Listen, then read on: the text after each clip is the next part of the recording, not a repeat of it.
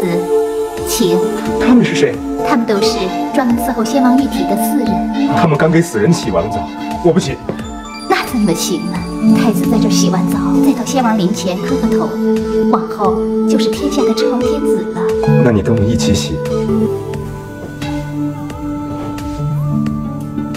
这是春秋时期的开始，周朝的重要转折点。公元前七八二年，周宣王姬晋病逝，太子公生即位，史称周幽王。他作为太子时还毕恭毕敬，即位后就暴露了本性。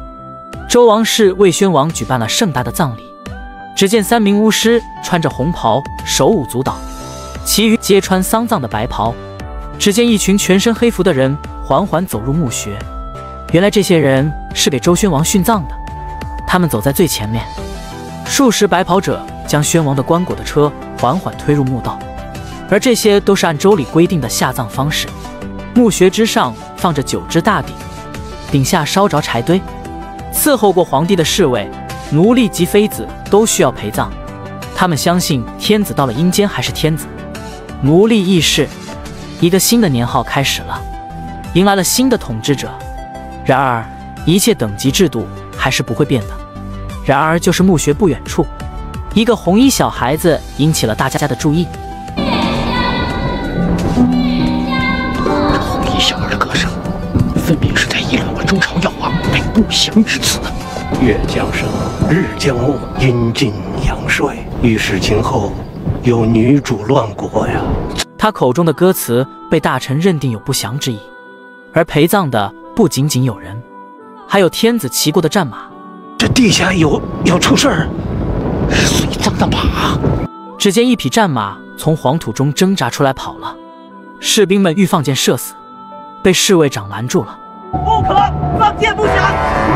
大家都在猜想新的君主到底能给天下带来什么。敌山地震，臣刚出宫门就听说。泾河乐三川同日地震，压死民居无数。岐山地震与我有何干？派出倾国之车，把天下最美的美女给我选来。从今以后，天下的美酒要尽我所饮，天下的美食要尽我所想，天下的美女要尽我所欲。这是西周的最后一个君主，他荒淫无道，不理朝政，更加不顾百姓死活。公元前七百八十二年，太子公生即位，史称周幽王。在其父亲周宣王的棺椁下葬后，满朝文武及各路诸侯身穿校服，等着新王即位。新王却还在后宫与宫女玩游戏，无奈几位大臣亲自到后宫去迎太子。各地前来奔丧的诸侯都已经到齐了，赶快换上丧服吧。最喜爱的宫女催促新王，一面跑来拖住几位大臣，为首的大臣瞬间火冒三丈。新王还未继位，你们这些人就着了宫规，践踏重礼。我抓住你了！还在捉迷藏的幽王亲眼看到最喜爱的宫女倒在了自己的身边，备受打击。他拿这些大臣没有办法，只好穿好朝服去即位。万年无期！万年无期！万年无期！面对大好的江山与百官的山呼，他并不高兴，甚至充满了厌恶。即位典礼过后，他暴露了本性，每日纵情歌舞，但阅女无数的他。并不满意眼前先王选的美女，他要在民间去海选。我说过，用不着你们伺候，走开。那些人是干什么？报告，这是先王在世时寻遍天下选来的美女。又是先王，让他们滚开。当众人散去后，他突然厌恶地看向旁边撑灯的侍女。你能算是天下的美女吗？奴婢不敢。他们把我最喜欢的宫女给杀了。说我继承了王统，先王用过的一切东西都要继承下来，包括你们。就这样，周幽王勒死了撑灯女，宣泄了他对旧制的不满。而他的心情还没平复过来，就传来岐山地震、百姓疾苦的消息。不过他丝毫不关心，反而更加变本加厉的让官员去帮他海洗美女入宫。而如此灾害下，引发了各诸侯、封地官员及百姓的不满。大王不畏天变，罢黜贤臣，信用奸邪，如此下去，只恐朝堂空虚，社稷不保。朝堂是我的朝堂，社稷是我的社稷，空不空，保不保，用不着你多嘴。来人，割其蛇，关进死囚。这是刚刚即位的周幽王，当时离首都不远，三川地震，强烈的地震引来岐山崩塌，遇难者不计其数，百姓流离失所。可周幽王却毫不在意，继续在民间选美。国公为了稳固自己的地位，第一个站出来支持。天崩地裂乃常事，何必大惊小怪？为当今天子选美才是大事，臣以为万不能停。哼！国公言之有理。而太史伯阳父敢于直谏。认为岐山是不祥之兆，不过他没有继续说下去，他知道说下去的后果。怎么不说下去了？你该不是想说，我周朝也要亡吧？而另一位大臣把他没说完的继续说下去，他说的很委婉：大王若能敬天克己，修正安民，自然就会天护神佑。要是继续不理国政，宠任佞臣，那……以为这几句话没有问题，却被国公挑刺。幽王下令将他罢免，轰出首都。不用轰，我自己会走。而另一大臣看到幽王如此轻易就罢免，站出来说了几句公道话，希望幽王能收回成命。于是周王便说出来了一番谬论，便有了视频开头的一幕。这位大臣被割掉了舌头，被关进死囚，而一关就是三年。三年后，他的儿子通过太史伯阳父来到狱中见到了他，而早已被割舌头的父亲已经说不出来任何话来。家父被关，到今天已经整整三年了。是国是家父的好意，又同朝为官多年，只求你老人家，救家父一命吧。伯阳父表示，周朝自武王伐纣已经有二百五十余年了，谁都知道天下将有巨变。他说出了商朝妲己救父的故事。你父亲反对天子选美是抱着以死殉节的信念的，现今用献美女的办法救他出狱。那不比杀了他还要难受？似乎说了办法，又似乎没说。而他想解救父亲心切，决心拿前朝的方法一试。他就是那个刨开埋葬先王的黄土，从阴室里跑来讨债那匹不祥的野马。她是我从乡间选来的民女。她要真是人，为什么进宫都三个月了，却从来不会笑啊？这是春秋时期最惊艳的美女褒姒。周幽王为了博她一笑，因此而丧国。王后认定她就是宣王下葬那匹马所变，是个妖孽。而幽王为了求得这样一位美女，历经三年，百姓因为天灾朝不保夕，幽王还要将未出阁的民女一车车拉走，百姓敢怒不敢言，哭声一片。周幽王每天都要从民女中挑选，却始终没找到最心仪的那一个。快找！而比周幽王还要心急的，就是包想的儿子。包想被关进死囚三年，只有他找到幽王满意的美女，才能解救父亲。他四处托人打听和征选，终于有一天，在渭水河畔找到了一名民女，十四岁便有着倾国之容貌。于是包想的儿子便名义上与他兄妹相称，褒姒的名字便由此而来。他连夜带着褒姒赶往京都，不小心摔倒了。哎。别别别别下车！将来把你送到宫中，万一让周天子看上了，那，你可就是天下的大贵人了。真能用你救出我父亲，那我可就没白在这一路上。听完哥哥的一番话，褒姒第一次发自内心的笑了。不出意外，褒姒一定会被周幽王选上，褒祥也会顺利得救。只不过周幽王因此三个月不理朝政，文武百官议论纷纷。王后身世看不下去了，她便来看周幽王的这个新宠。臣妾参见大王。这是我新晋选来的美女，只因名分未定，故而没让她去见你。过后补上这个礼就是了。臣妾听说，大王得到一个美人，已经三个月不理朝政了。看到褒姒一袭黑服，表情严肃不会笑，便有了视频开头的一幕。而王后的一席话，并没有引来幽王的警觉，反而幽王想尽一切办法要博褒姒一笑。他要真是人，为什么？进宫都三个月了，却从来不会笑啊！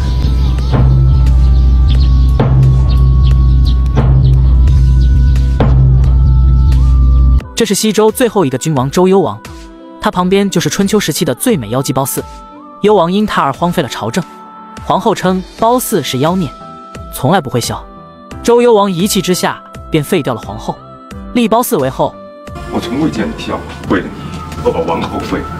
你不孝，这依旧为了你，也让我给废了。如今你当了王后，你生了儿子，做了太子，你怎么还是不孝？为了博得褒姒一笑，几年来他想尽一切办法，却还是徒劳无功。连褒姒自己都劝幽王放弃，而幽王却听国公说褒姒曾经笑过，只是有特定的场景中才会出现。那次微臣奉大王之命送王后回宫的路上，王后望着马车前方的火把，微微发笑，那神情之美非凡人所有。幽王感觉到了一丝希望，他做梦都想看到褒姒一笑。像他这样的人，都见你笑过，寡人天天哄你，却从未见你笑过。于是他命卫士人手拿着两个火把，天天在殿前广场乱舞。可试验了好几天，还是没有任何作用。幽王急了。逼着褒姒笑，见还是不行，便强行掐住了他的脖子。国公见幽王马上就要掐死王后，他急中生智，想到了一条妙计。大王，王后是从民间选来的美女，她望着马车前头的火把发笑，可能是喜爱乡间的野火。大王不妨起驾骊山。而国公的分析不无道理。包想的儿子把他从民间接出来的时候，正值夜间，他坐在马车上。看着前面的火把，确实是笑了。幽王听到国公的妙计，便决定马上起驾骊山。而这里有长城的烽火台，而长城之外有外敌，这是幽王没有想到的。大王，各路诸侯全都到齐，微臣见王后并无笑意，是不是让诸侯先回去？他今天不笑，我就杀了你，让他们先回吧。天子传旨，敌兵未曾入侵，有劳诸侯跋涉，请回吧。周幽王听信国师府的建议，连夜前往点燃烽火台，却丝毫没有想到后果。幽王这个架势，把烽火台的守将可吓坏了。他苦苦劝谏，并声称要将出主意的人严惩。敢问大王，这是谁的主意？臣请将此人碎尸万段，以谢天下。少啰嗦，叫你举火。原来这骊山烽火就是为了防范戎狄入侵，一旦失信于诸侯，后果不堪设想。守将的忠言。周幽王是一句也听不进。大王，难道非弄得亡国才能明白吗？亡国也不要你管。只见烽火台的火一点，狼烟四起，各路诸侯便纷纷从各处擒王。只见烽火台的火以及各路诸侯的火把，好不壮观。可褒姒还是不笑。周幽王尽情欣赏着歌舞，不顾诸侯在寒风中苦等。各路诸侯还不知道情况，只能苦等。最终经不过诸侯的催促。国师傅只能过来请求，下令让诸侯们先回。褒姒这时却神气的笑了，周幽王也喜上眉梢。而这一出闹剧，不只是天下诸侯看在眼里，附近的戎狄更是。公元前七七一年，戎狄找准机会出奇袭击周朝国都，而这一次点燃烽火台，却无人来救。周幽王惨死于乱军之中，而褒姒却下落不明。后来诸侯相救，戎狄退去，太子即位后迁都洛阳。史称西周，但天子再无实权。春秋时期开始了。谁派你来的？是不是段子都？不要问他。是。子都，放人。什么？你走吧。他可是来杀你的，你竟……弟可以不弟，兄不能不兄啊！此事不可声张。谢谢你。这是春秋第一位小霸主郑庄公，而刺杀自己的是弟弟公子段派来的人。他不想兄弟不和，非但没有杀了刺客，反而让侍卫长不要声张。造成公子段刺杀哥哥的原因，在于母亲武姜的过分溺爱。在父亲郑武公在世时，武姜便百般要求废长立幼。后来武生即位后，他见无法改变，便想一步步扶公子段去取代。他先是要求郑庄公把质邑封给弟弟。质邑，质邑是险要之地，先君一命不许分封，除质邑之外，任凭母亲挑选。但接下来的要求就不好推辞了，那就把京城封给段吧。京城，你不答应，那就把段赶出国门。便答应把京城分封给弟弟，而京城与国都相等，就相当于郑国有两个君主。大臣们百般反对。先君有度，封地大臣不能超过国都的三分之一。如果把京城封给了段，成了天出二日，民有二君呐。可不封他，无法向母亲交代。公子段分封后，武将马上叮嘱小儿子，让他一有机会就可以准备起事。可公子段觉得士卒车马不是一朝一夕之事，与其扩充自己，还不如削弱哥哥的力量。于是母亲第二次去求大儿子，我要替你弟弟求你来了。母亲有事只管吩咐。你把京城封给了段，理应再调拨些兵马，帮助段戍守京城。不知上需多少？兵车四百，上将一员。而当时庄公的国都还不到一千兵车，调出四百，国都便空虚了。母亲又使出了一哭二闹三上吊的演技，他只能同意。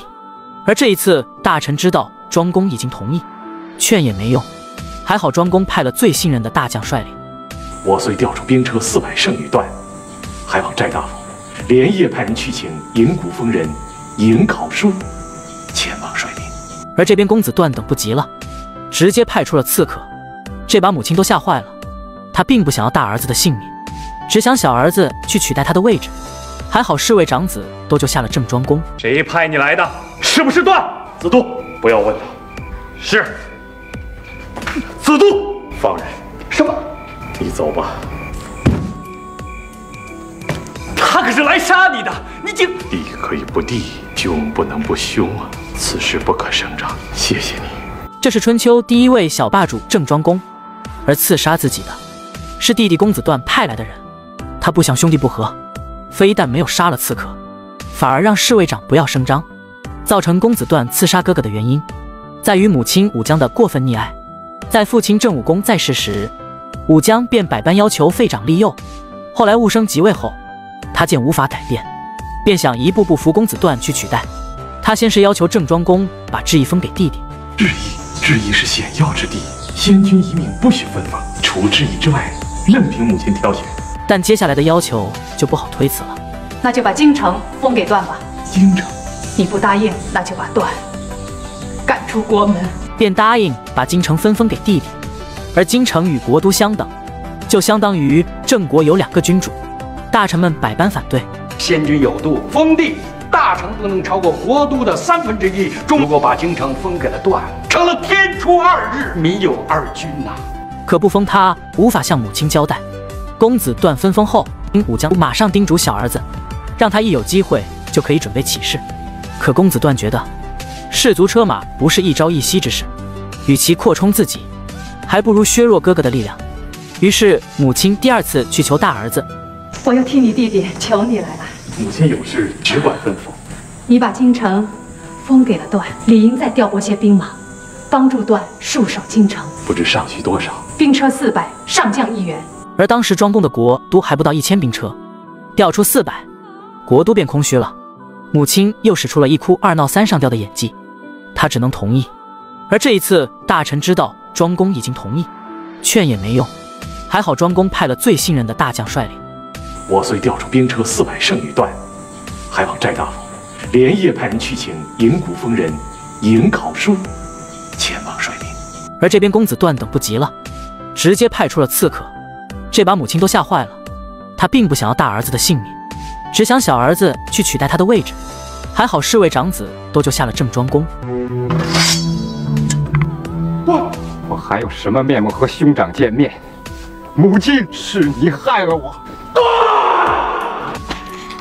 这是郑国一场特殊的内乱，由郑庄公的母亲与兄弟挑起。刚开始，弟弟派刺客暗杀，他采取隐忍的态度放走刺客。可郑庄公老感觉有刺客要刺杀自己，于是下定决心发明了一句成语。多行不义必自毙，决心在适当的时候给弟弟一点教训。当母亲武姜和弟弟公子段得知刺客败露时，段决定提前起事，而起事需要母亲做内应。你要帮我，要给我通风报信，这可是你答应过我的。这些其实庄公已经知晓，但他不能采取行动。一来这样做对兄弟不仁，二来会对母亲不孝。为了让弟弟现出原形，他假装自己要去洛阳，还带走了侍卫长子都。寡人五月初一要去洛阳面君辅政，多则半年，少则一个月。而让大臣寨大夫监国，目的是为了给母亲武姜看到。母亲会一夜沉沉，你可要当心走好。武姜很快派人给公子段送去密件，声称五月初一在国都新郑城墙上以白旗为号。可到了那一天，却没有看到白旗，还传来了不好的消息。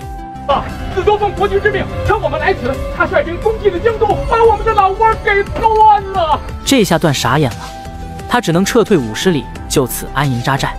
这时候的郑庄公出了一张王牌，叫尹考叔趁夜深之时，将段的全部兵马带走，只给他留个把老弱。而郑庄公在回去的路上，遇到一名垂钓者，他的一番理论，让郑庄公示意到自己的不对。谁也不去责备那些引诱鱼儿上钩的人，却去责备贪嘴的鱼儿。天下有这样的道理吗？很快，段发现自己的营中只剩下老弱残兵，但已经骑虎难下。他率领这些老弱残兵到了新郑城下，公子段自杀。在死之前，他终于意识到，是母亲的过分溺爱，才让他走到了这一步。母亲，是你害了我。世上做母亲的，那就像你这样，不疼爱自己的孩子。从生下我那天起，你就不希望。究竟是为什么？来人，把他送回营地。我今生今世不到黄泉，绝不相见；不到黄泉，绝不相见。这是郑庄公黄泉认母的故事。只因母亲不喜欢大儿子，凡事都向着小儿子段。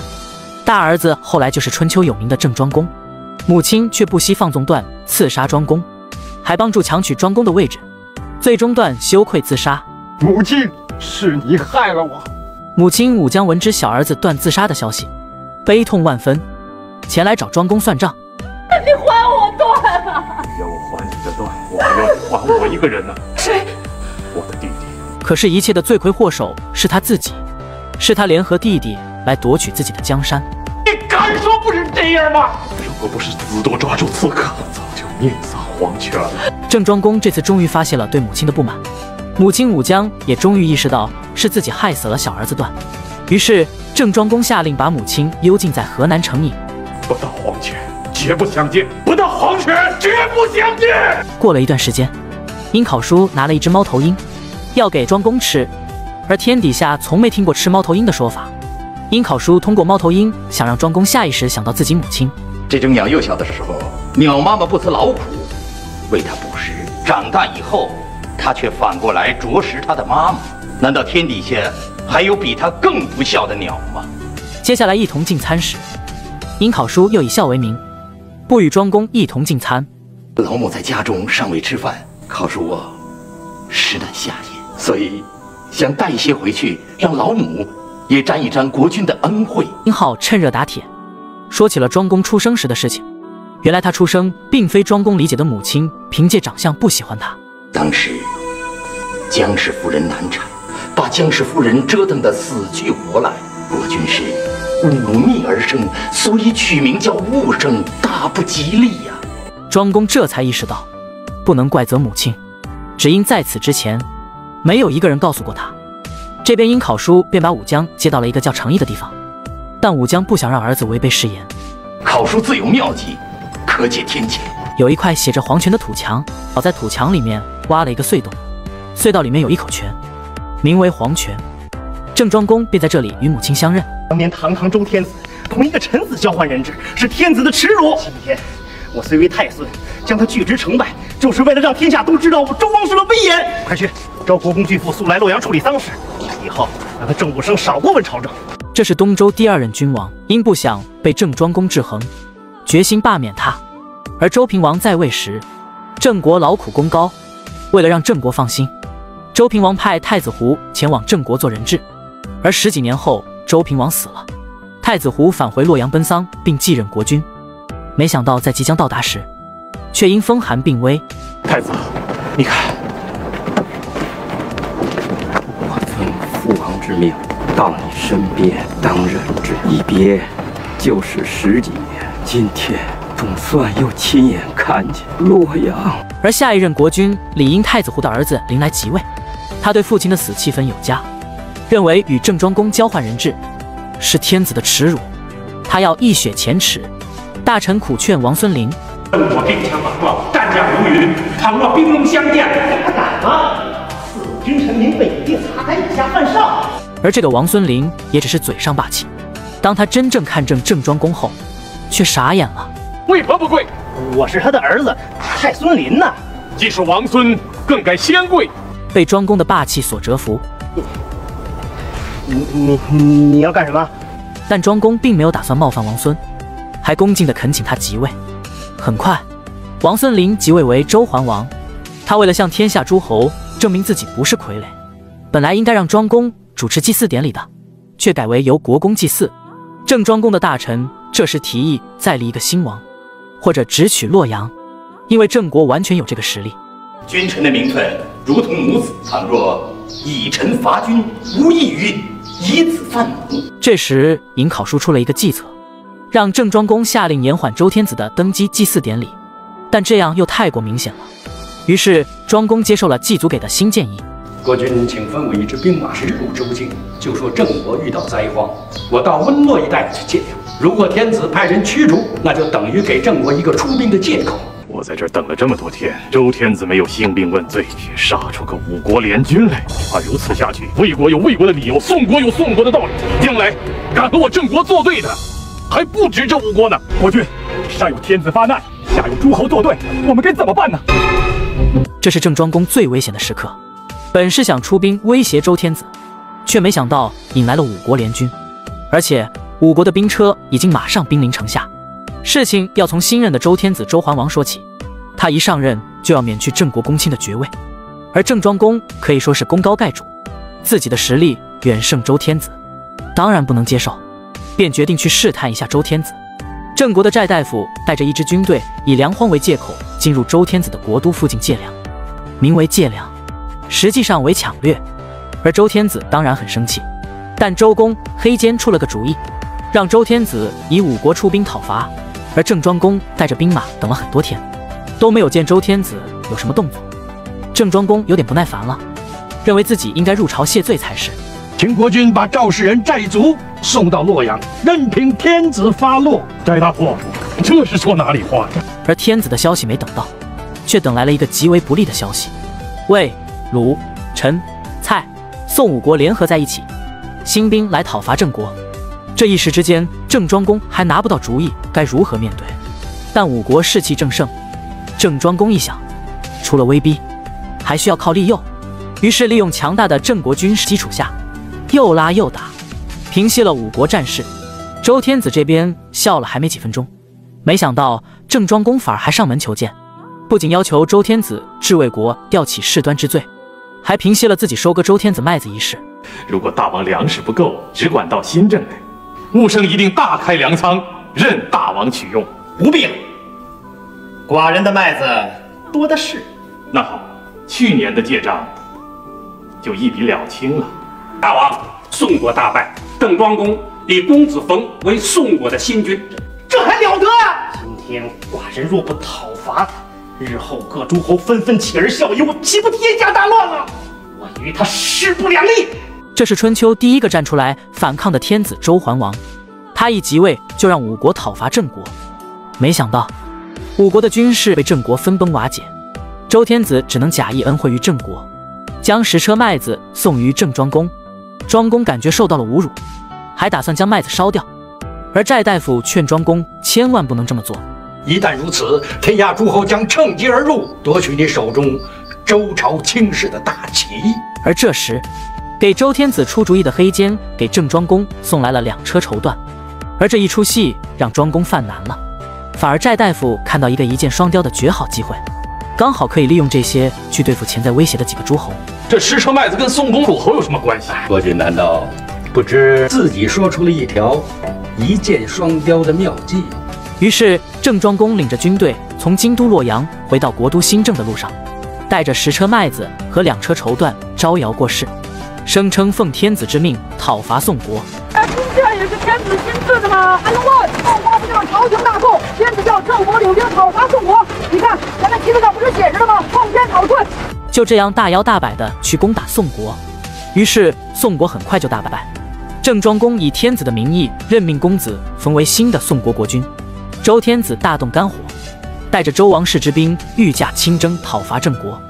郑庄公召集文武商议对策，而这时大臣们分成了两队，有人说战，有人说和。即使此战不败，诸侯也会借机加倍伐我。到那时，郑国难免不遭诸侯瓜分。而这里面的利害关系一看便知。周天子如果联合天下诸侯，郑国将国之不存，郑庄公悔之晚矣。难道苍天真的要亡我郑国吗？寨主不才，愿献一策。本郑武生冒犯天子，罪该万死。但是祸是我郑武生闯下的，而绝不在今天后退半步。我要镇江乱了！报朝忠君！报朝忠君！保护周天子！这是因郑庄公以天子名义讨伐宋国带来的后果。周桓王剥夺了郑国公卿之位，还联合诸侯之兵讨伐郑国。郑庄公面临两难：如果战，没有胜算；难道苍天真的要亡我郑国吗？如果认罪，周天子亦不会答应。而一直出主意的寨大夫，最后才开口，他讲出了可以与周天子一战的理由。诸侯其势虽强，却因只图在天子面前争功而彼此缺少联系。我军冒死充其两翼，两翼尽毁，中军孤立。只要调度得当，则可战而胜之。只有这样，才能拿到主动权。郑庄公这一战是为了能够夺回公卿之位，只可惜战端一开，就不受控制了。郑国的军队因强盛而著称。大将尹考叔和子都骁勇善战，于是郑庄公在天子面前表面决心：假使有一天郑国真的惨遭失败，以致亡国灭种，我郑武生也敢在皇权之下面对祖宗，背起逆子的罪名，自己也不会后退一步。当郑军开始冲锋时，果然如寨大夫预料的一样，诸侯的左右阵脚乱了，郑军集中优势兵力包抄周天子的中军。而这时，眼尖的郑庄公看到大将子都拿起了弓箭，一把就瞄准了周天子射了过去。郑庄公制止时已经晚了，周天子中箭倒下，王师很快溃败。由于大将子都的立功心切，导致郑庄公的计划全盘落空。射中了，知道了。国君在镇上看得清清楚楚，早就知道了。难道我说错了吗？国君，你为什么不说话？而尹考叔不想前功尽弃。故意放开了一道口子，让王氏撤退。因尹考叔看到周天子那一箭并没有在要害，才转哀为喜。你真的看见周天子活着逃出去了？这一箭射的正是地方，周天子再也挑不起天下这副担子了。国君，我射中周天子了，我射中了。国君，你为什么不说话？难道我射周天子那一箭射错了吗？我明白了，我子都可不管那些，只可恨。周天子国家坚厚，要不然让他早就一命呜呼了。郑庄公的大将子都一箭射中周天子，周天子受了重伤，郑庄公不知如何是好，子都却还在邀功。还好大将尹考叔故意放开了一道口子，让周天子的车队顺利的撤了出去，否则周天子死在郑国的手里，那天下诸侯必群起而攻之。樱桃叔，我感谢你。国君，你你一介武夫，你懂什么？什我。如今跟天子结仇了，该如何去化解是个问题。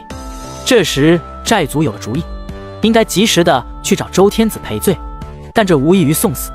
送些牛羊前去劳军，并向天子解释射中天子那是误会。于是寨族就只能自己上了。郑庄公虽然舍不得，但没有更好的办法。寨族一到周天子营帐，就被绑了起来。周天子计划将他活活烧死。寨族其实也预料到了这个结果，而生死攸关，全得靠他自己一张嘴怎么说了。小臣为什么明知死罪，却偏来送死呢？问谁呀？问你自己。周天子正是因为寨族被郑武生倚重，想断其一臂，就等于削弱了郑国的力量。而果然寨族所预料。那大王，那你可就不上算了。郑国正好得理，乘胜进军，反上洛阳。到那个时候，周天子要变成。殷纣王了。周天子不想做亡国之君，才跟郑国的第一战就受了重伤，这也不是不可能的事。于是他把寨族给放了，与周天子的一战，他彻底赢了。他要你啊，去一个地方，什么地方？他的营帐，去洛阳。我是新郑，我赢了，赢了，成为了春秋第一位霸主。他的故事也经久流传。我是君，你是臣，臣不能弑君。小主人恕我闹阳间无礼了，我想见父亲一面。要想见你的父亲，提你的头颅来见我吧。父亲，眼前两位被杀的人是魏国的国君与他的亲信，而如果您看过他们的故事，便会觉得非常解气。被杀的国君名字叫周玉，他是魏桓公的三弟。魏桓公一直惯着这个弟弟，最终导致自己被三弟所杀。周玉成了新的国君，他不仅要追杀他的二哥公子敬，还帮助郑国的公叔段去打他的哥哥郑庄公。桓公的旧臣不服他，辞官的辞官，反抗的都被杀了，大失民心。眼看统治就维持不下去了，于是他的亲信石后去请他的父亲石阙过来相助自己。父亲石阙对这个为虎作伥的儿子失去了信心。儿子如今有出息了，儿子是奉新君之命来的。新君继位以来，国人多有不服。新君觉得父亲是朝中老臣，威信又高，想请父亲到朝歌去，替他治理治理。便计划以儿子为突破口，扳倒新君。大夫石阙请陈国国君帮忙。跟周瑜说，能够说服周天子立魏国为公卿，但前提是要周瑜来郑国的太庙商议。周瑜便带着亲信时候来了。为臣不忠，为子不孝者，不准入庙。立此牌何意？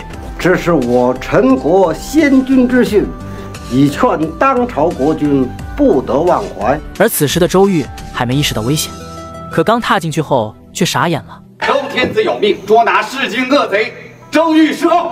你们，你们在干什么？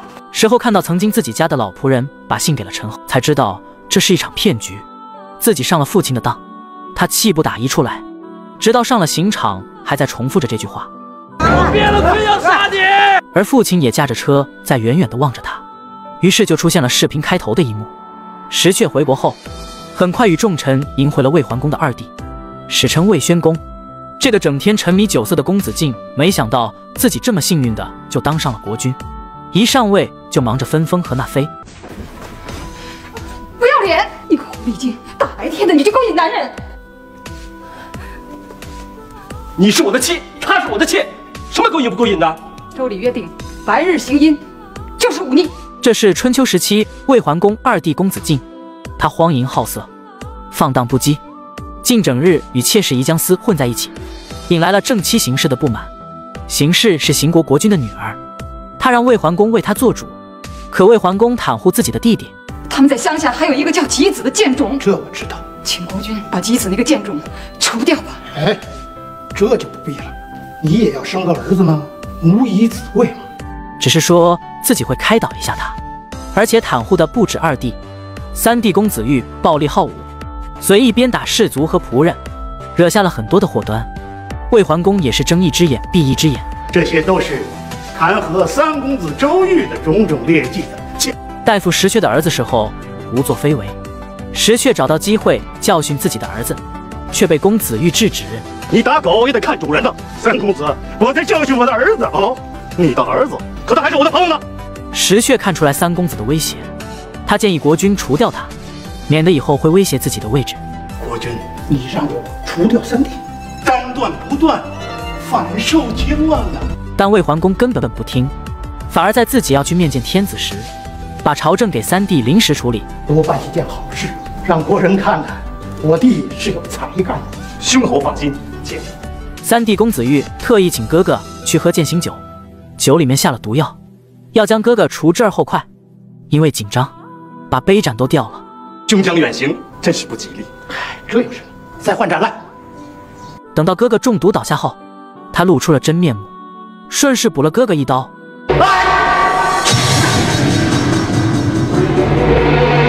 魏桓公就这样惨死在自己的弟弟手上，而二弟公子敬听说后，刚开始要和三弟去血拼，被形势拦住了。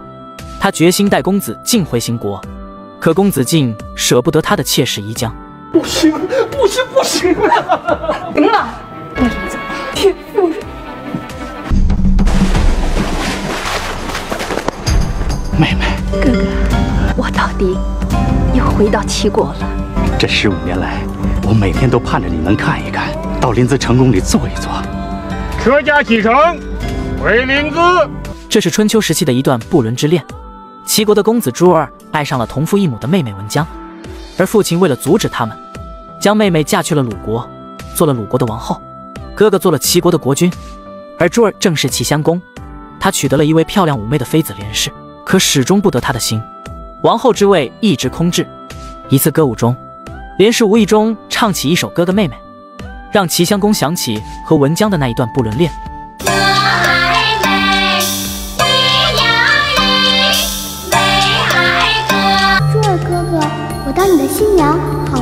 那好，先让我亲你一个，文妹妹。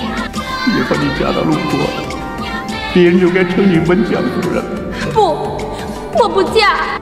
连氏的哥哥连称是朝中的大臣，看妹妹三年了也没有给齐襄公生育一儿半女，非常着急。怎么能在国君的面前唱哥哥妹妹呢？我怎么知道呢？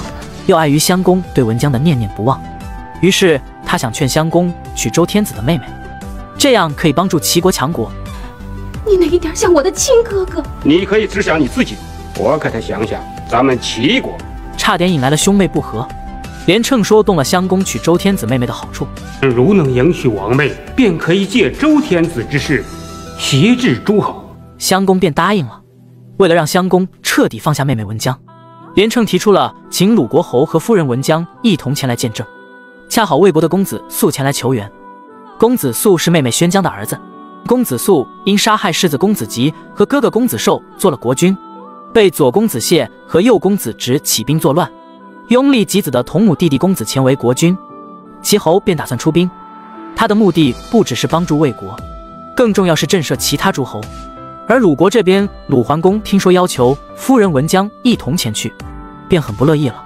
那还是只怕，不就是十几年前人们都议论他和他哥哥珠儿吗？这事儿我又不是不知道。但齐国强盛，他又不好推辞，无非是怕文姜与他哥哥旧情难忘罢了。而文姜听到鲁侯与大臣商议，他没有想那么多。既然是替哥哥聘请王妹，也是件高兴的事。妹妹的就理当关心，可你们却在这儿思前想后的。金台已经筑好，酒宴已经摆开，快来受妖吧！这是春秋最悲惨的故事。魏国最有才干的两位公子先后赴死。当吉子从舟上醒来时，已是翌日白昼，却没有看到二弟，自己去齐国的文书也不见了。二公子昨夜将世子成心灌醉后，连夜带世子去齐国了。那劫呢？二公子带走了。于是令手下追赶，可这时遇到了不速之客，来船正是刚杀完公子寿的贼船。吉子奉命出使齐国，又出来一个吉子。他们还在疑惑，便把昨夜杀的吉子头颅拿出来，让眼前的吉子辨认。吉子悲痛欲绝。什么二弟？你是谁？我是真正的吉子，又杀错，杀了他。等一等，别再杀错了。你过来认认。还认什么呀？借着贼人的剑自刎而死，而小小年纪却蛇蝎心肠的三公子素就这样把两个哥哥都害死了。魏国最贤能的两个公子都被杀了，两个头颅被带回了魏国。九王后邢氏悲痛欲绝。吉子的母亲宜姜更是上吊自杀，宣姜承受不住，也接近崩溃。自己的所爱和儿子都死了，而形势还在怪他。害死了吉子，害死了你亲生的儿子，被你害死的，恨得他牙痒痒的。而宣江悔恨的是，如果自己没有被宣公抢走，这样的悲剧就不会发生。你要不来魏国，就不会有这场灾难。而第二年，魏宣公死了，他带着被世人的唾骂，即使是后继之君，魏国的名声也是很难恢复起来。最终从一线强国沦落为二线小国，在春秋的历史中，始终是可怜的配角角色。金台已经筑好，快来受用吧！我是吉子，你们是什么人？找的就是你。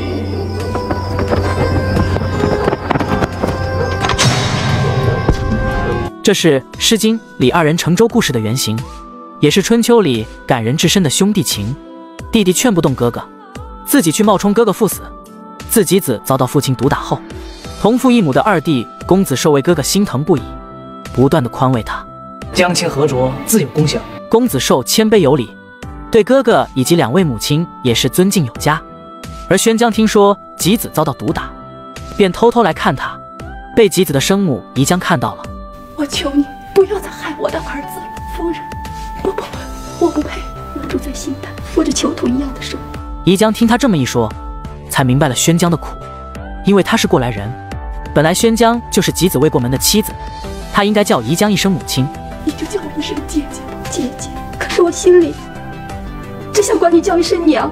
却被魏宣公抢去了。过了几天，公子寿去父亲宣公那替哥哥求情，却不想听到了三弟公子肃和父亲要杀害哥哥的消息。他赶紧过去找兄长。急到哪儿去了？世子奉国君之命，已经动身去齐国了。什么？还好船并没有驶远，他乘快船拦住了哥哥。吉子哥哥，我是寿啊，吉子。于是二人乘舟共饮，算是为哥哥送行。虽然自己告知父亲与弟弟要加害他的消息，但吉子非常悲观。三弟已遵父命安排好了杀手，你快离开这儿吧。前路休闲，后路就太平了。自己被亲生父亲所不容，他也不愿意再回去了。公子寿没想到自己完全劝不动哥哥，于是便借口说哥哥酒杯里有眼泪，把提前下了猛汉药的酒换给了哥哥。能有像弟这样一位知己，足为平生了。自己拿了哥哥的文书包裹去了齐国，路上被公子素早已安排的刺客杀死。寡人待你不薄，为什么要弑君犯上？问君，你连年用兵，不忍违背父命，疏远公孙无知。不孝，兄妹乱伦，害死其夫；无礼，不念世祖，道义不待。无信，我替齐国除掉你这个仁孝礼信、四德皆失的家伙。这是春秋史上礼义仁信全部失衡的君主齐襄公，哥哥公孙无知联合大夫管至父、大将连称将他杀害。话说齐襄公在杀害了妹夫鲁桓公后，为防止报复，便先下手为强，自己出兵魏国，不仅帮助外甥夺得魏国国君之位。还打败了周天子的诸侯联军，从此对外没有敌手。但在内大夫管制府和大将连称早就不满他，想拥立他庸弱无能的哥哥公孙无知为君。于是公孙无知便称贝丘山猎物不少，骗襄公来到了贝丘山。可他吃不好睡不香，狩猎时还扭伤了脚，可能是自己做的恶太多了。睡梦中，被他杀害的人一个个来找他，让他吓出了一身冷汗。我变鬼也要索你的命！来人，来人呐！睡醒后，他莫名的烦躁，鞭打了身旁的侍卫孟阳。事后又后悔了，向侍卫道歉。被公孙无知骗来打猎，脚又扭伤了，心情不好，你别恨我。本来侍卫孟阳已经做了连称的内应，要杀害襄公，可他因为襄公的道歉，良心发现了。咱们动手吧，先把这个家伙给杀了。哎别杀我，我可以给你们带路，先把昏君给哄睡了。我怎么能相信你呢？我恨他。你们看，让襄公逃走，自己代替他睡在被子里。我从来没给过你奖赏，还经常打你，你为什么要救我？刚才却诚心诚意向我道了歉。孟阳，死也心甘情愿了。大将连称带兵来时，他反过来杀连称，却不想铠甲太厚，他便惨死。而襄公脚扭伤了，并没有走远。被截住了，连称数落了齐襄公的罪行，但襄公不认这些理由，这只不过是连称为了是军编的。但接下来这个理由，襄公真的无法反驳了。让你死个明白吧！我只是为你那个至今孤身一人住在齐鲁边境、无家可归的文姜妹妹讨个公道。所有的一切和结束，也皆因为此人。齐襄公死时，还在挂念着。那个住在齐鲁交界的妹妹文姜，不过齐襄公的死给了弟弟齐桓公称霸春秋的机会。哥哥，回头看看，这是什么？公孙无知让我哥哥把你推出来称君，就算名正言顺。都是在你枕头边上瞎说的。不怪你没有当国君的福分。我虽然没有当国君的福分，但是我有和国君的宠妃在一起睡觉的福分。你，这是杀死齐襄公，自立为君的公孙无知。史称其前废公，在此之前，他只是一名好色且胆小之徒。只因堂弟齐襄公与妹妹的私情，襄公的妃子心生怨恨，被他钻了空子。齐襄公因想与妹妹文姜长相厮守，便害死了与妹妹相伴十五年的夫君鲁桓公。当知道真相后，妹妹文姜便带着鲁桓公的灵柩回去鲁国。当行至齐鲁交界地时，文姜便不走了，让我下车，把我的东西都搬下去。搬东西？为什么？我不回去，任凭大臣怎么劝也无济于事，因为和同父异母哥哥的孽恋，齐国和鲁国他都不会回去了。我哪也不去了。如果还有谁想起我，就叫他到这儿来好了。我就住在这儿，一直到死。而舆论满天飞的襄公，这时既然出兵攻打魏国，为他的外甥公子肃争夺魏国的王位。很快，齐国打败了周天子的诸侯联军，可外面虽安，家里却有内乱。因齐襄公早已不宠连氏，便处处提防他的哥哥连称。他将连称派到偏远地区驻守，本是任期一年，可是期限到了，也没有消息。连称便送了齐襄公一车瓜，提醒国君瓜又熟了，该派人替换了。可国君并没有这么做，他将他的遭遇跟妹妹一说，好极了，你也该体会一下，这就是你忠心耿耿的下场。我当初对他怎么样，可结果……连氏兄妹同病相怜，便有了视频开头的一幕。于是连称兄妹联合情夫公孙无知，还有齐国大夫管制府，发动了叛乱。直奔贝丘山猎场立功。当时的天子齐襄公正在贝丘山猎场，夜晚他梦到了鲁桓公和公子彭生向他索命，他吓出了一身冷汗，惊醒了。不好，不好！那山虽岁，休得怪我！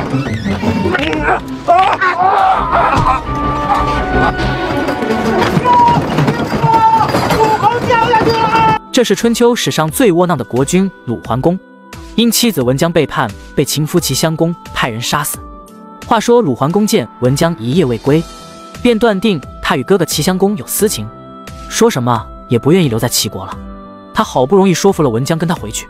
这时齐国的公子彭生奉襄公的命，请他去喝践行酒。桓公借口夫人文姜病了不去，夫人不是鲁侯一个人去也是一样的。那就恭敬不如从命了。只见彭生把鲁侯接到了山沟的小溪旁，吃起了烧烤。一旁的大臣开头就说了让桓公不悦的话：“鲁侯和文姜夫人百年恩爱，如鱼得水，什么意思？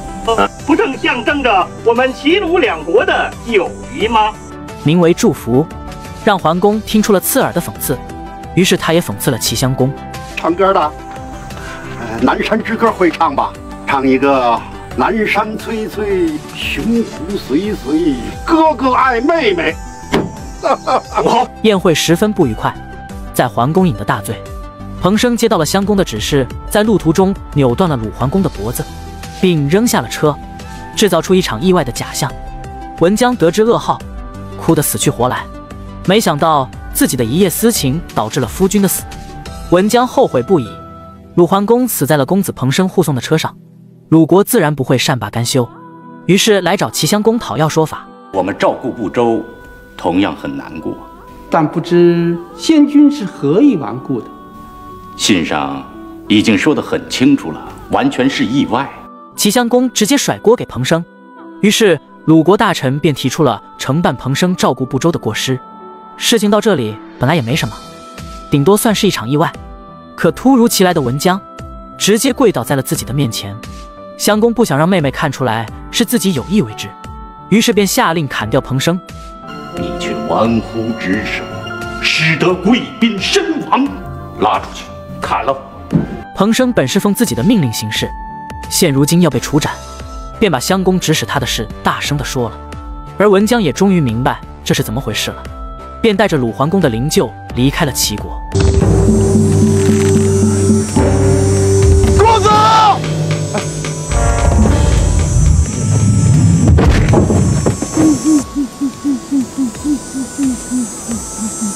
管仲看着自己辅佐的公子死在面前，伤心欲绝。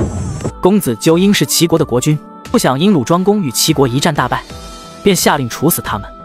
而管仲也即将赴死，鲁国大夫准备将他处斩后将首级献上去。鲁国想要管仲死，而齐国却下了死命令，一定要管仲生。不然射中齐侯，齐国必要亲手将他处死，才能解恨。为此，鲍叔牙派齐国大将齐鹏去带回管仲。鲁国表面阴郁。却在路上动手脚，只见弓箭齐发，欲射死管仲。管不死，快趴下！快趴下！哎！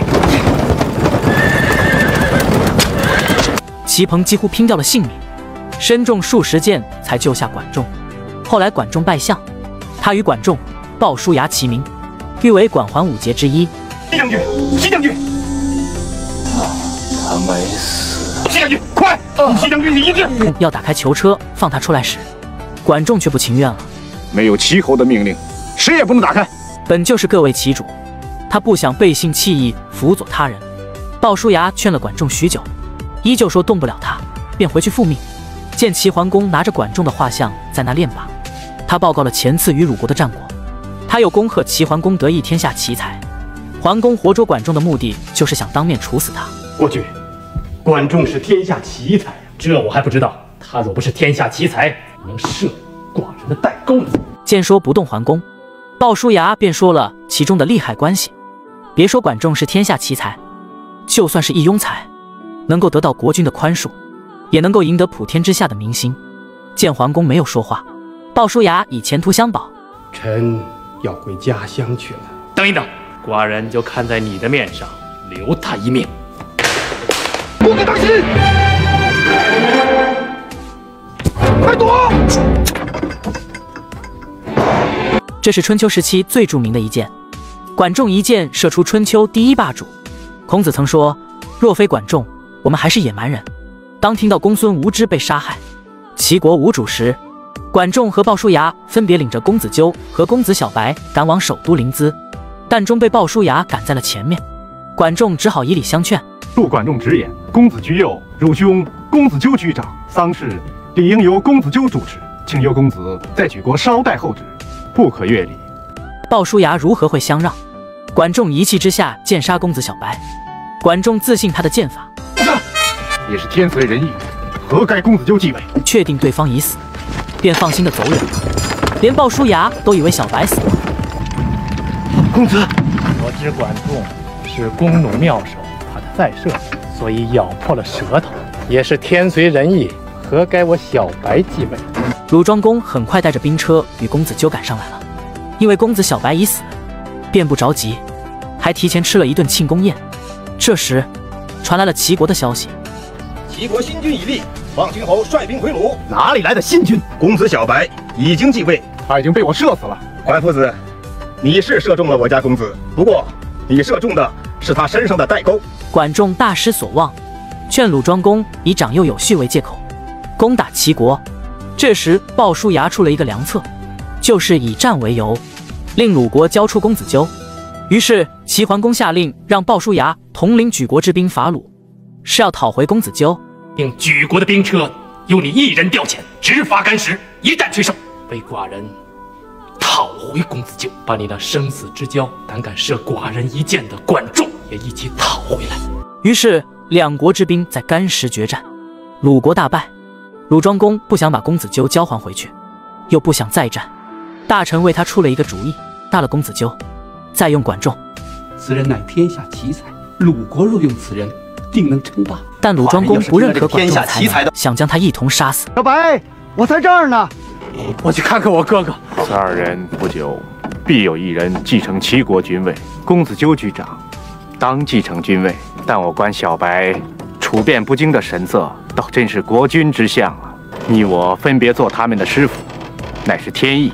眼前谈论两位公子的，正是管仲和鲍叔牙，他们是志同道合的好友，分别做齐国二公子纠和三公子小白的老师，而大公子就是齐襄公，刚刚在贝丘山被公孙无知所杀。管仲料定公孙无知不可能篡位成功，继任的。只能是他和鲍叔牙所教的公子纠和小白，而正是这个原因，二人必须分道扬镳。管仲带着公子纠去鲁国避难，而鲍叔牙带着公子小白去举国避难。齐国陷入了内乱当中。公孙无知虽自立为君，但得不到齐国的认可，雍陵举兵反抗，杀掉了公孙无知和连称兄妹。齐国突然没有了君主。鲁庄公很快就收到了消息，公子纠请求庄公借兵。公子富国兴邦，寡人理当相助。只是这消息是否属实，还需再看。让他他们先等消息，他自己则和大臣商量。当年自己的父亲死在了齐襄公之手，于是他想暂缓出兵，便说自己会亲自率兵送公子纠回去。他的心思是取了齐国首都，但管仲说公子小白那边肯定也收到了消息，要是对方先到的话，国君之位就不一定是公子纠的了。可自古长幼有序，难道他敢僭越？先入者为主。若小白先赶到的话，公子纠纵然接踵而至，也只能是后来者为客了。于是管仲请求请兵去阻止。你预计兵车多少？三十乘足矣。管仲快马加鞭，也不顾自己路上摔下受伤的事，报之听者。而鲍叔牙这边舟车劳顿，正在中途休息。他正在跟公子小白讲，为什么要紧急赶回去的原因。公子纠生性软弱，一旦他继承了齐国的君位，能不能够摆脱鲁国的纠缠？你虽为幼公子，我宁愿承担僭越的罪名，也要为齐国送一个有作为的君王回去。这是与齐国屡败屡战的国君鲁庄公。一旁的宫女朝他娇羞的笑了下。我杀了你！鲁庄公发怒的原因不只是因为他与齐国的屡战屡败，而是齐桓公将他弃之不用的管仲封为了仲父。大将曹沫看出了鲁庄公的心思，说自己特意来保护国君，却被鲁庄公嘲讽：“你来保护我，干尸之战的时候，你倒是想保护我，可最终还不是管仲把我给救了。”见到国君如此嘲讽自己，曹沫掀开了自己的上衣，现出了一道道的伤疤，把身旁的宫女都吓坏了。他请求鲁庄公派五百兵车，一定要打个胜仗，顺便把管仲捉回来。而齐国这边，管仲正照料。救自己一命的大将齐鹏，他的伤疤可比曹沫多得多。此时齐桓公正好过来看齐鹏的伤势，顺便说了鲁国又来请战的消息。齐鹏请命一战，得到了齐桓公的应允，但管仲却是反对的。此时更应该专心治国，比如分疆归属、遴选人才、合理征税、振兴盐铁。那好，这些国政就全凭仲父操持。寡人。命鲍叔牙为将，克日兴兵伐鲁。见说不动齐桓公，管仲便说了一句忠告：尉迟须留后路，小胜即可收兵。果然一战，齐国大胜，但鲍叔牙却派兵乘胜追击，忽略了管仲所说的小胜即收兵的建议。曹沫再次请求鲁庄公增派三百兵车再战，被鲁庄公训斥了一顿。大夫师伯向鲁庄公推荐了曹刿，说此人深知兵法与谋略，或可再与齐国一战。国家大事虽不能一一洞察，但也必是按情理处置。凭这点意思，可以打一仗。怎么打？鲁庄公如获至宝，决心再与齐国一战。寡人尊相国为仲父，凡有国政，须先禀告仲父，后给予寡人。管仲还需拜谢一人。谁？生我者父母，知我者鲍叔牙。齐桓公喜得管仲相助，便有了称霸之志。他想起他的父亲齐僖公曾是春秋小霸。他的志向比他父亲远大的多，于是他问管仲，什么时候可以征伐诸侯？还需要一面旗子。旗子不是寻常的旗子，而是人们心中的旗子。原来齐桓公把前辈郑庄公当作楷模，只因郑庄公敢公然与天子交换人质，还敢割周天子的麦子，甚至还敢与周天子交战，并一箭射中。不过管仲却不认同，他出了一个令齐桓公意想不到的策略，倒不如。尊周王而亲四邻，共讨蛮夷，这就叫尊王攘夷，让他看到了最实际的称霸方案。对管仲佩服的五体投地，但他是君，管仲是臣，他不能真的投地。但过了几天，齐桓公沉迷后宫，对自己称霸的信心似乎减弱了，于是问管仲他的一些毛病妨不妨碍他称霸？寡人好利，射猎正好敏捷身手，只要别让贝丘山离宫的大火。再重烧起来就行。寡人还好色，这也不影响争霸，不妨碍。不过管仲说出了一个真正妨碍争霸的理由，那就是分不清贤才，分贤才而不用虽用，却让小人掣肘，妨碍争霸。于是齐桓公才正式拜管仲为相父，拜鲍叔牙为大夫。管仲与鲍叔牙便辅佐齐桓公，开始了尊王攘夷的强国方案。而鲁庄公听到齐桓公不计前嫌，还拜管仲为相。他大为震惊，曾经他嘲笑管仲无能，回齐国必死。如今小丑竟然是他自己。以前与齐国交战，他总是战败，看来以后更加没有胜算了。他非常气愤，为此武姬朝他笑了一下，就要杀掉他。我杀了你！请管师傅受小白一拜。君兄，公子纠临此一见，亦用此言。与我诀别，小白不知，请师傅原谅。小白在此，请受我一拜。这是春秋管仲拜相的故事。齐公子小白在做了国君后，一直记恨曾经射他一箭的管仲，所以哪怕管仲逃到了鲁国，他也要让鲍叔牙将他带回来处死。但鲍叔牙与管仲同是挚友，管仲之才又在他之上。当齐桓公封他为上卿时，他便推让了，治理齐国。需要的是栋梁之才，臣实难胜任。齐国所需要的，是内能安抚百姓，外能连接诸侯，功勋加于王室，恩泽遍于天下的奇才。齐国可有此人呢？有，管仲便是。而听到管仲的名字，齐桓公脸色都变了。他不止记恨管仲射他的一箭，最主要的是听闻了很多流言，说鲍叔牙和管仲是生死之交，管仲并没有才能。于是君臣之间苦苦僵持着。一日深夜，鲍叔牙又为管仲之事前来。包青何必如此？包青与寡人患难相处，非他人可比。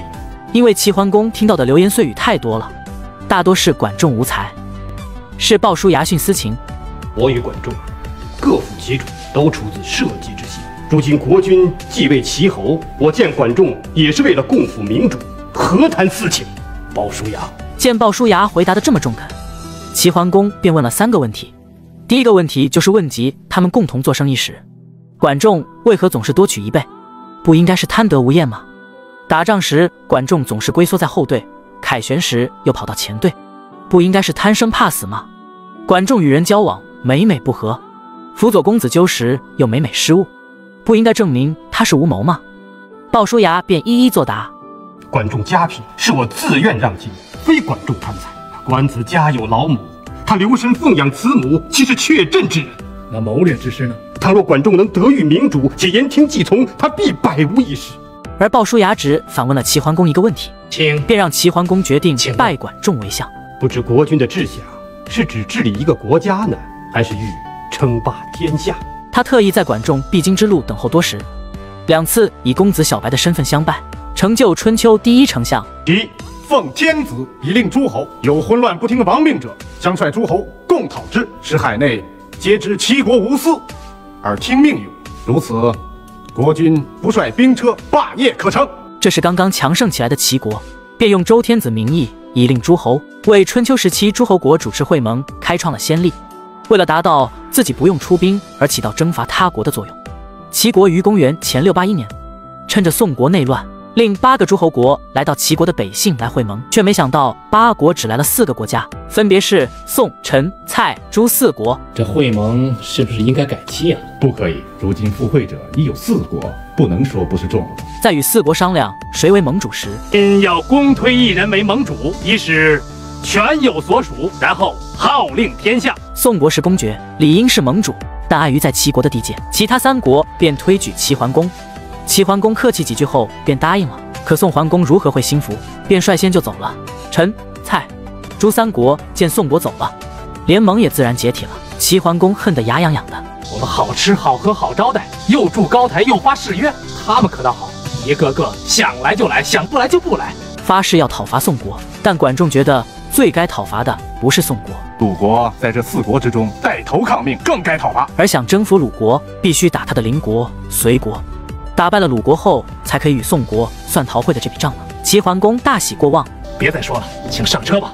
当他们再次来到会盟的高台时，齐桓公大呼可惜，我不能让这个台子白建。但管仲却告诉他可以建一个更大的台子，给了他信心。很快。不出管仲所料，齐国很快灭了隋国，震慑住了鲁国。鲁国很快便答应会盟，这是令管仲和鲍叔牙头疼的一段时间。齐桓公与鲁国战败后，便开始亲近小人。那个树雕原本就是小白的性同，只因苦于不能进宫，便自断其根。还有那个厨子易牙，只因小白说没有尝过人肉什么滋味，便将自己三岁的儿子杀了，做成了蒸肉来讨好小白。原来自与鲁国第一次战败后，又与宋国联兵伐鲁，遭到鲁国的拼死抵抗。便下令撤军。回宫后，他的意志消沉，整日在深宫与宦官树雕和厨子易牙待在一块。鲍叔牙找到执政的管仲，他担心齐桓公从此一蹶不振。管仲却不这么看，或者是齐桓公太好面子，又急于求成，才逃避问题。所以一时精神恍惚，郑兄整日忙于国政。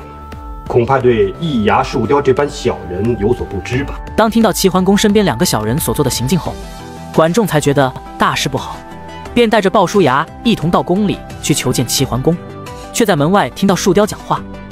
我听人家说，君出令，臣奉命。国君既然不愿意见相爷，干嘛什么事情都交给他呢？张口重负，闭口重负。还好齐桓公够清醒，没有听信谗言。管仲对于他而言，手臂之于身体，我这个国君也因为有了管仲，才可以称之为国君。你们这些小人懂什么？这时听到管仲求见，他便推辞了。这改日吧。仲父说，如国君不见，便在宫门口站着不走了。只见管仲拿着自己相印，双手呈上，说长勺之战是自己的过错，而齐桓公便说是自己的过错。鲍叔牙也说话了，一说是自己的责任，三人互相在包揽过错。最后还是管仲再次请求收回相印，原因是自己的私心所致。当时鲁为弱国，我军只要严阵以待，不需多久，便可不攻自退。又怕劝阻会受到国君的猜疑，便违心的迎合了国君。而真正无法原谅自己的，其实就是齐桓公自己。他不是不想见管仲，是太好面子所致。也因为齐桓公对宦官树雕的话，让管仲与鲍叔牙听到了，便和好如初。三年之后。齐国因管仲的治理，又达到了称霸的实力。金主帅可是鲍叔牙？正是。听说此人与鲁交兵三战三捷，可有此事？有，那我就有主意了。公子请快讲，让他们齐国先围起鼓来再说吧。什么？你？这是曹刿论战，春秋中以弱胜强的经典故事。自从鲁庄公派曹沫与齐国的鲍叔牙三战三败之后，鲁庄公的信心全无，欲把曹沫派去齐国谢罪。大夫师伯不断的安慰曹沫。他正建议一位能人给国君，而先说谁谁就到。你们这些成天喝酒吃肉的人没了主意，倒要我这个吃素的人帮忙吗？何处野老？此人乃我相识，现在东平乡间居住，姓曹名贵。师伯很意外，曹贵不修边幅就来了。紧接着他便毫不客气地坐下，刚刚还在拍鞋子灰尘的手，这时竟然直接抓起一块熟肉吃了起来。嗯哦，真不行。见到国君后，衣衫却整齐了许多。也显得彬彬有礼了起来。鲁庄公请教他破敌之策，曹刿称一定要等到仗打起来再说。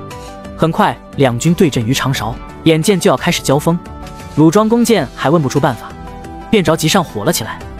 传法令，军中雷，军中有敢喧哗者，斩！齐军正在指头上，不如稍微等一等，看看再说。齐国那边已经开始擂鼓助威了，不到一会，第一轮战车开了上来。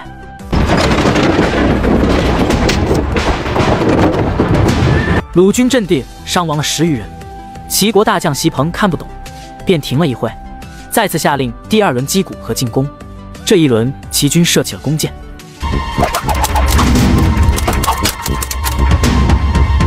伤亡的人更多了。当鲍叔牙下令第三轮击鼓时，将士们都犹豫了。士兵已等候多时，见鲁军没有动静，便懈怠了。鲁国的军队以逸待劳，打败齐军的时候到，击鼓。以弱胜强，打败了齐国的军队，而曹刿的战术其实就是一场典型的心理博弈。战场上往往一鼓作气便发动进攻，决定胜败。曹刿以鲁国弱兵，利用一鼓作气，再而衰，三而竭，取得了胜利。对，停停。也因为此次战役取得胜利。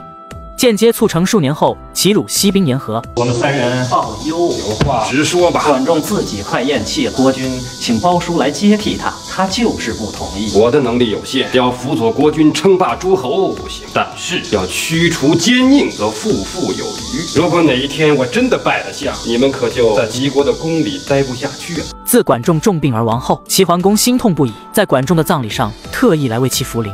他能够称霸诸侯数十年，全是管仲之谋。他感觉国家失去了希望，连霸主的雄心也被瞬间浇灭了。葬礼过后，齐桓公按照管仲的遗言，拜席鹏为相。只是没想到，席鹏因病在身，一个月后也随管仲而去。于是齐桓公只好指定鲍叔牙继任。这次的鲍叔牙一如往常的拒绝，齐桓公已经记不清他是多少次辞任了，恳请他这次切莫推辞。鲍叔牙便答应了，但提出了一个要求：用贤勿先除恶，请国君罢黜易牙、树雕、开封这三个佞臣。从今以后，不许他们再跨进宫门一步。齐桓公此时犹豫了，说管仲在世时也提过类似的要求，但只是说不让其三人从政。并没有说要将他们逐出宫。管仲是一代贤相，能藏污纳垢，但是臣不行，那华人依从就是了。而被逐出宫的三位小人聚在一起商量对策，最终认为齐桓公忍不住抛下他们，就不信他能受得了。就要看国君他不忍得住。果然，齐桓公失去了身边的三位小人，就瞬间没有精神气，吃不香，睡不好，更加没有心思玩了。他的妃子魏姬表达了对伙食的不满。这也叫汤？比起易牙的八珍汤来，简直就是洗脚水。还是把易牙招回来吧。而也因为自己的多嘴，齐桓公把汤全倒到了他身上。后来齐桓公想了很久，觉得自己熬到老了，也没有好好享受享受。前有管仲，后有鲍叔牙，太辛苦了。于是他准备将压抑已久的心情彻底释放出来。重负之后，寡人当将国政委以何人呢？鲍叔牙是个君子，但不能委以国政。西彭呢？西彭身有暗疾，也将不久人世了。那开方怎么样啊？易牙、蜀雕、开方三人，国君切不可再亲近他们。这是管仲逝世前对齐桓公的忠告，齐桓公却并没有听进去。自公元前六五一年，齐桓公举办葵丘会盟后，齐国到达了全盛，而齐桓公也开始自满了起来。由于他不能像周天子一样在泰山封禅。所以他的几乎所有的标准都要高出周天子一截。不久后，管仲年老力衰，身患重病卧床，国事他只能依报叔牙，君臣之间同坐一车，发表了一番感慨。臣听说，明主贤臣大都是虽乐而不忘其忧的。臣愿国君不忘四十年前逃出齐国时。看见贝丘山离宫大火的情景，齐桓公突然意识到了危机。第一个是自己的六位公子不知道该立谁为世子，第二则是管仲身后该由谁来代替他的位置。对于世子，管仲给了他一个模糊的答案：如果传位给公子无亏的，无亏为君，必乱国政；那传位给公子昭，只怕无亏不服啊！莫非仲夫想起了什么事情？臣想起当年一箭射中国君代沟的事儿。管仲对鲍叔牙讲起了他的担忧。齐桓公现在已经是安然享受了起来，他担心齐国由盛转衰，但他此时已经是有心无力了。回到临淄后，我营造三柜台，也奢侈享受些。本想这样做，能为齐侯分担一点国人的不满。于是，在齐桓公再来询问管仲时，他说出了心里话：易牙、蜀雕、开方三人，国君切不可再亲近他们。一个开方为了齐桓公自己父母病逝而不回，一个易牙为了齐桓公杀掉了自己三岁的儿子并主食，另一个树雕为了齐桓公亲手阉掉了自己。这三人很明显是不能用的。齐桓公也答应了他。仲父不必生气，这三个人我不用就是了。而管仲已是将死之人，他不希望齐国因为没有他的辅佐而走向衰退。齐国是国君的齐国，臣拜托。这一别后，管仲便离世了。齐桓公悲痛万分，亲自为他扶灵。按会盟规矩，只许一君一臣登坛，其余均以坛驾待命。慢，今日是两国国君友好盟会，怎么可以带凶器呢？请把剑留下。哼，哼。这是齐鲁科地会盟，齐国征服了诸侯国，坐上了第一位霸主的交椅。而会盟台上，出现了一起曹沫刺桓的故事。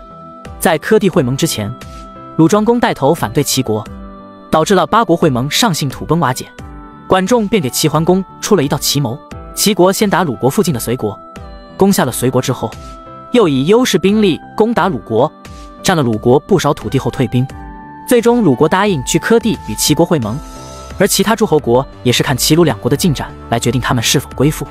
会盟地的高台原规定，只允许一臣一军不携带武器上台，但鲁庄公的大将曹沫却偏偏违背。友好盟会怎么可以带凶器呢？请把剑留下。正当要歃血为盟时，齐桓公被曹沫抓住了手，而台下尽是自己的人。齐桓公料想鲁庄公也不会让曹沫怎么样。曹沫说齐桓公不公平，并没有为鲁国着想。今日克地会盟，正是为鲁国着想。不知曹大夫有什么要求？齐国恃强凌弱，夺我土地。若答应归还我土地，我国国君便与齐侯歃血为盟。而齐桓公望了管仲一眼，管仲使了个眼色，意思是不能归还失地。但齐桓公面对以死相逼，又想到未来的发展之路，便打开格局，答应了下来。寡人答应你归还鲁国的失地，就是。齐侯刚才的话可以算数吗？当然算数。齐国把侵占我鲁国的土地真的还给我们吗？当然。曹沫便恭敬地请两国国君歃血为盟，而齐桓公这一做法，在诸侯中赢得了威望。此后的数十年，齐国以天子令诸侯来称霸。相继出兵拯救邢国、魏国，北伐山戎、抗击楚国等事迹。周王室两任天子还平派大臣去褒奖。齐桓公终于坐上了春秋第一霸主的位置。三十年后的公元前六五一年，齐桓公又举行了葵丘会盟，使齐国的实力更是达到了鼎盛，晋爵一级，年下拜。但随着齐桓公的年事已高，开始轻信小人，身居后宫。齐国开始由盛转衰。先霸主齐桓公用管仲治国二十年方成霸业，寡君的宋可等不了这么久啊！寡人曾当面向齐桓公请教过会盟称霸的道理，齐侯对我讲过两个字，知道是哪两个字吗？哪两个字啊？仁义。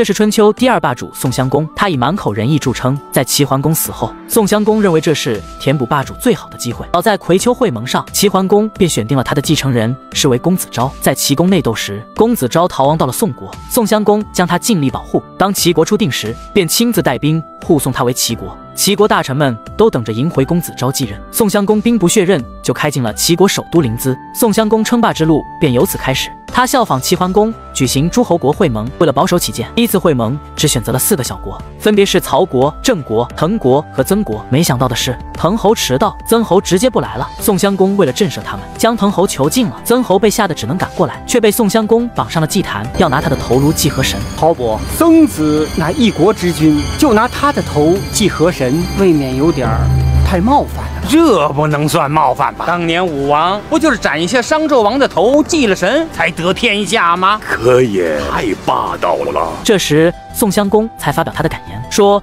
齐桓公用管仲治国，都用了二十年才成就霸业。我的宋国又不是大国，可等不了这么长时间，只能用点非常手段了。而口喊仁义，曾国的国君却马上人头落地，把其他三个国君吓得魂飞魄散。从此，一众小国对宋国不敢不尊。仲父一定是个天神，不然他怎么料得那么准呢？我当初就是没有听仲父和鲍师傅的话，才有了今天。天哪，小白就这样死了吗？这是齐桓公生命的最后一刻，因晚年宠幸三位小人，将他害死。六位公子争夺王位，竟然饿死六十七天后才被大臣发现。在之前，扁鹊料定齐桓公已不久于人世后，易牙等三位小人便投靠了公子无亏，主动下手将齐桓公住的地方封起来，筑起了三丈高墙。他身边的人一律被轰出宫外，只留一个小洞，每天派一个内侍进入看齐桓公是否还在人世。只是没想到。一天天过去了，竟然还活着。终于有一天，一道小门开了，一名掌灯的宫女燕娥进来了。齐桓公记得她。鹅有粥吗？我饿。这种时候哪还有粥啊？热水也行。解解渴。热水也没有地方找。易牙树雕作乱，完全隔绝了内外。但他已经饿得头昏眼花。宫女燕娥不顾自己的生命，想陪着齐桓公到他生命最后一刻。齐桓公是多么的后悔啊！当初不听管仲和鲍叔牙的话，轻信了这三个小人。他非常感谢此时有一个这样的宫女能陪他。有三个妻子，六个宠妾，十几个孩子，现在没有一个在我的身边，只有你。国君，请自己保重，愿一死。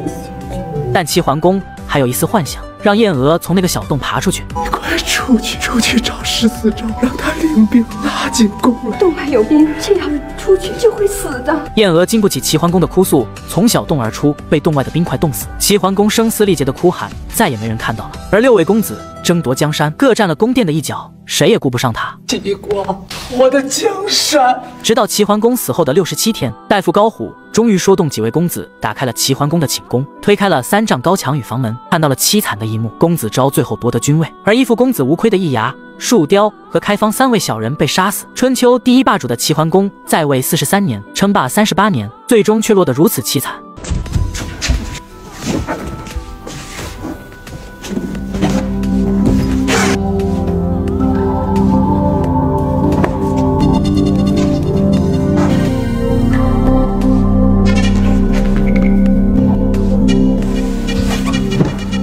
这是春秋第一霸主齐桓公，此时他已年老力衰，却偏不服老，不仅放纵自己的欲望，连相国鲍叔牙的忠告也听不进去。被鲍叔牙逐出宫门的易牙、树雕与开方等三位小人，又被齐桓公迎接回了宫里。他们还像年轻时一样，喝得酩酊大醉，玩得不亦乐乎。突然有一天，一位名医求见，想替齐桓公看看他的身体状况。据说此人还有起死回生之术。为什么是此人？就是名叫扁鹊名医。为了给鲍叔牙一个面子，齐桓公便召见了扁鹊。扁鹊一进来就看出了齐桓公气色不对。国君病得不轻啊！国君的病已经越过肌理，进入血脉，很快就要病入膏肓了，不可不治。只看到易牙等三位小人在旁边笑了。齐桓公赏赐了大笔金银给扁鹊，并声称自己无病不需要治。扁鹊行医多年，如此会机技医之人，我还真第一次见。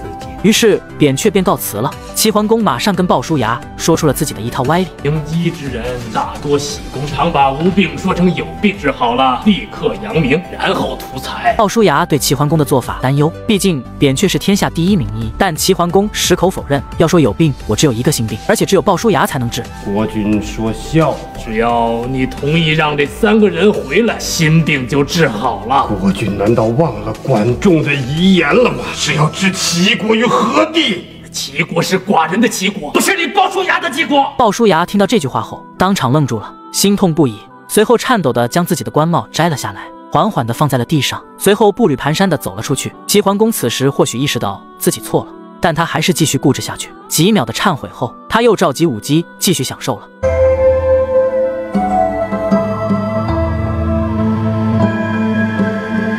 夕阳无限好，只是近黄昏。齐桓公还远远意识不到自己的身体，而自从鲍叔牙辞官后，便很快郁郁而终。而等齐桓公真正意识到自己病了的时候，扁鹊也找不到了。你们的国君现就在此，怎能再立一君？因宋国社稷无主，怎么能不另立新君呢？这封给你们当宝贝吧。公孙固，大司马，真的是寡人呐！你被楚人拘职，社稷蒙受侮辱，请原谅。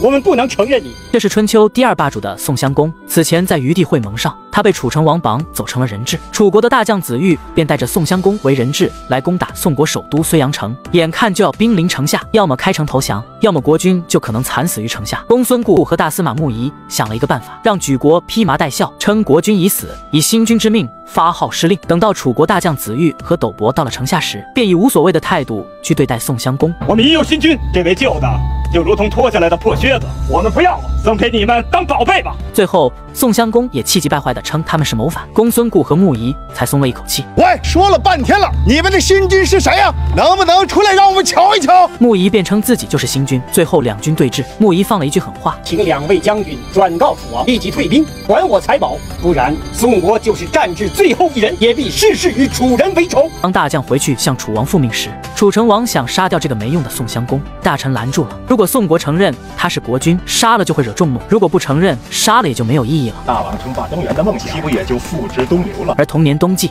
诸侯在博地会盟，齐鲁两国的国君也来了。鲁僖公呼吁大家把宋襄公争取回来，不要给中原诸国丢脸。你们呀，同是中原诸侯，怎不帮宋公说一句话？太不仁义了吧！鲁喜公开门见山就对楚成王说：“只要放了宋襄公，他自己第一个心悦诚服。”楚成王看了一眼后面诸侯的意思，大家都点头示意。既然诸侯们以盟主应有的仁义来要求寡人，我怎能不按照大家的愿望去做呢？放人！于是宋襄公就这样被放了出来。他不断重复着“大仁大义”四个字。大仁大义。当诸侯会盟时，宋襄公只能坐在那里看着，因为他知道自己已经不是君主了。宋国已立了新君，会盟过后，宋襄公也准备去投靠魏国，了此残生。公孙固和穆仪告诉他，这是不得已而用的计，你仍然是国君。他看到自己的将士被山呼时，才露出了久违的笑意。胡思量力，擅自召集诸侯，此乃一罪；曾侯机会稍迟，你就将其囚禁，此乃二罪；曾子不愿与你为盟，你却擅杀曾侯，以人击鬼，此乃三罪；曹侯弃你而去，反而带兵攻打，此乃四罪；以寡人之位召集诸侯，却又攻而不进，死五罪。这是楚成王西蜀春秋第二霸主宋襄公的罪过。余帝会盟之日，成了宋襄公的耻辱日。在之前与齐楚两国会盟后，宋襄公在余地举办了他人生中的第三次会盟，本邀请了八国诸侯，加上楚国一起，却只来了六个。和宋国关系最好的齐鲁两国却没见人来，楚国依旧是最后一个到。楚成王以谦卑来掩饰自己的阴谋。这是敝国的子玉将军，见过宋公，拜见宋公。这是敝国的公子木仪，以后你们要多多亲近。还庆幸自己没有带兵前来，但公子看出了不对。不对啊，楚王带这些人来干什么？典礼开始后，各诸侯分次序缓缓走上台。到了台面上，宋襄公开始主持。寡人欲修先霸主齐桓旧业，结合诸侯歃血成盟。诸君若无异议，就行指天起誓，参与盟约吧。诸侯们纷纷表示愿意加盟。真正歃血为盟之时，楚成王却站出来制止。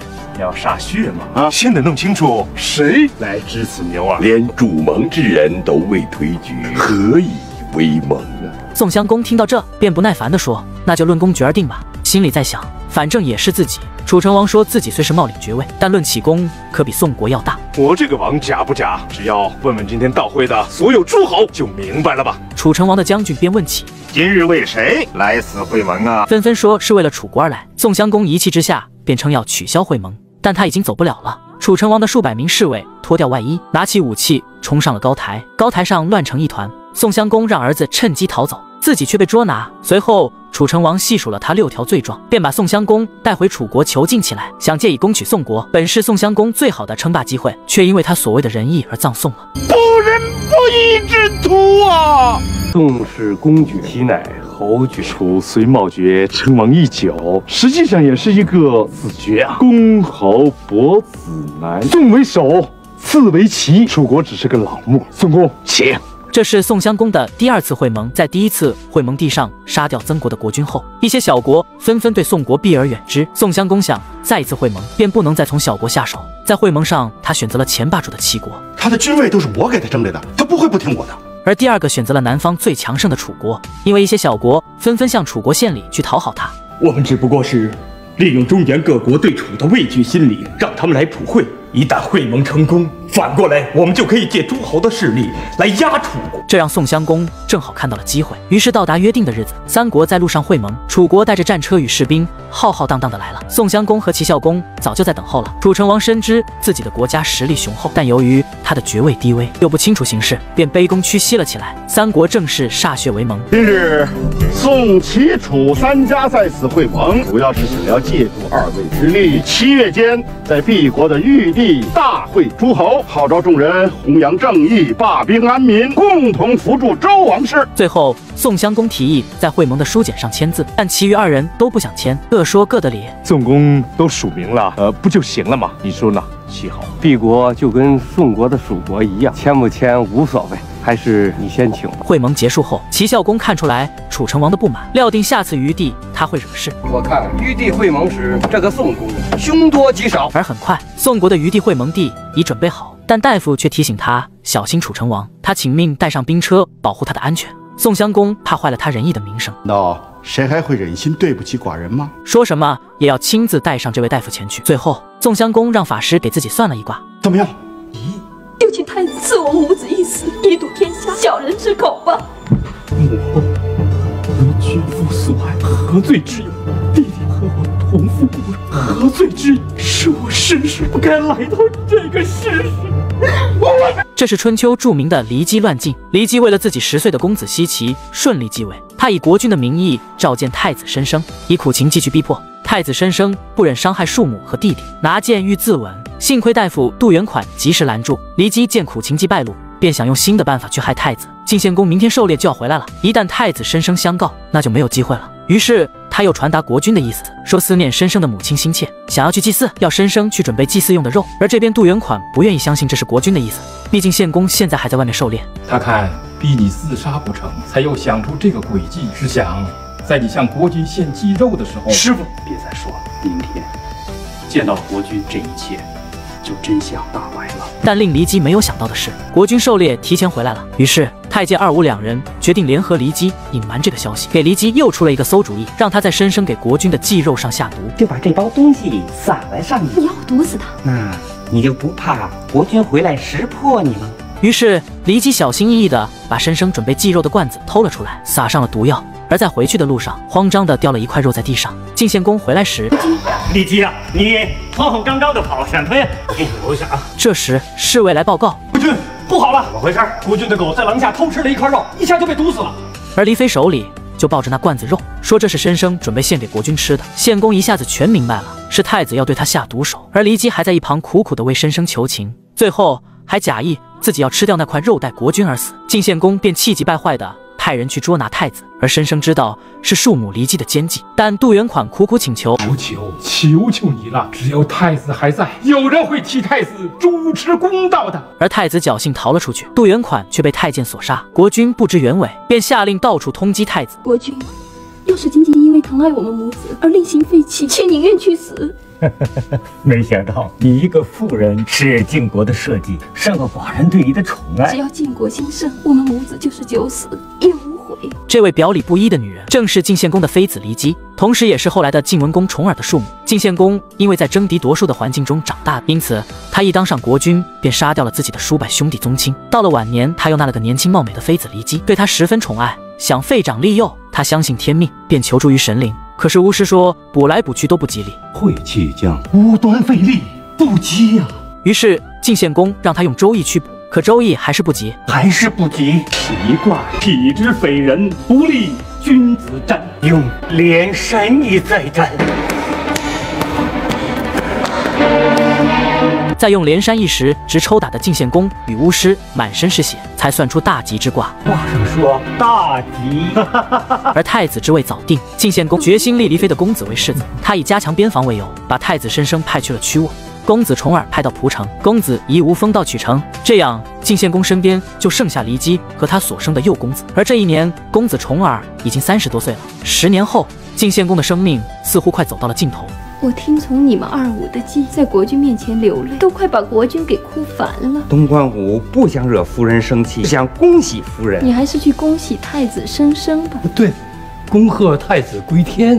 现在他又打算听从两位太监的话，要逼死太子。于是骊姬传国君的命令，送太子一件新衣，让他穿着来面见国君。着太子立即穿戴新衣，现在就穿吗？而这件衣服代表是非君非臣的有罪之身。到了王宫后，骊姬还假意不知道。开始了他的苦情计。太子，你我二人活得好苦啊！进攻，为何不攻？国君，突进半渡正是我军进攻的好机会啊！我们是堂堂之师啊，怎么能够攻击正在渡河的半渡之兵啊？